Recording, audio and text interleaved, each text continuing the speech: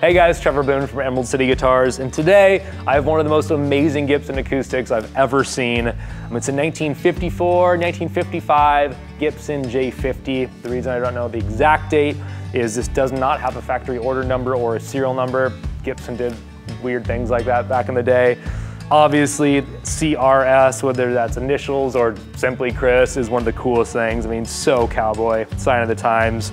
You can see a little bit of tape residue where there's a set list here, but besides that, the guitar is like sparkly clean. The case is the original hardshell brown Gibson case from the 50s that is super clean. It's got the hang tag, it's got an old music book, total time capsule. It sounds incredible.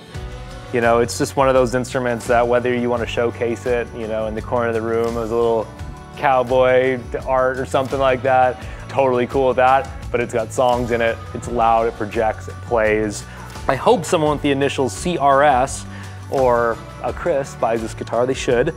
Anyways, Gibson acoustics are some of my favorite instruments ever. This is one of the coolest ones I've ever seen. We have Skyler Mehal doing the demo. Let's get to it.